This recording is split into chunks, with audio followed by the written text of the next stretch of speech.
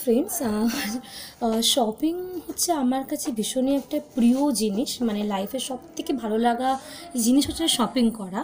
এবার সেই শপিংয়ে গিয়ে যদি কেউ মানে একটা কোনো কেউ খারাপ এক্সপিরিয়েন্স হয়, তার থেকে মনে হয় খারাপ আর কিছু হয় না।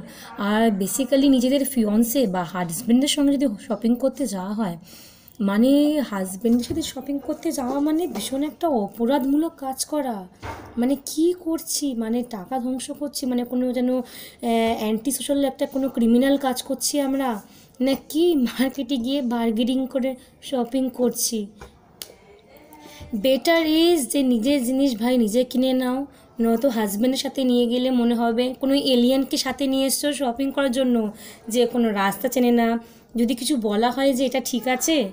যেন বাংলাটাও বোঝে না, ইন্দার এমন একটা এক্সপ্রেশন দেয় যে শপিং আমরা কী করতে এসে কি ভুল করেছি।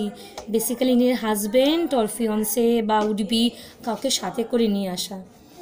আমার কাছে শপিংয়ের এরকম একটা বাজে এক্সপিরিয়েন্স